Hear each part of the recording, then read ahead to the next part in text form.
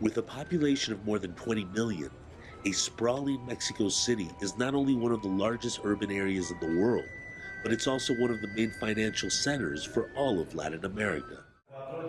Not surprisingly, new businesses are popping up in Mexico's capital, including the first Startup Academy.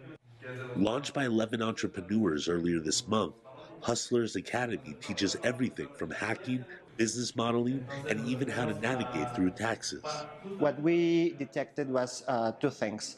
The first is that in Mexico, startups have uh, some problems with uh, marketing and with uh, you know selling and, and, that stuff. And the second thing is that the people who's uh, doing innovation in this uh, moment of, of history, they are not teaching. So uh, we we get we got together these 11 founders to to share their experience with our students.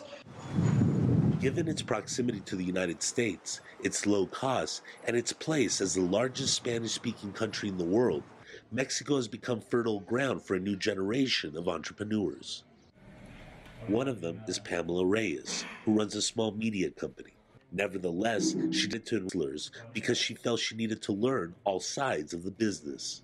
Pues es, es justo eso, aprender a, a, tener tu equipo de trabajo y aprender a... Here you learn how to work in a group environment and to have a very clear objectives.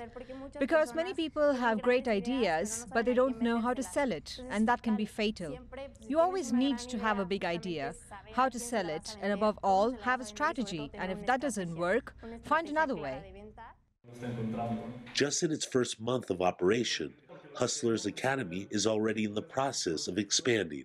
An internship for people with no professional experience is in the works, and next year the school will start a program that will focus on female entrepreneurship.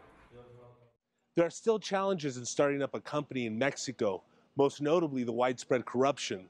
But with an economy projected to become the world's fifth largest by 2050 and a growing college educated workforce, Mexico City is in a great position to become what it hopes it will be the next Silicon Valley.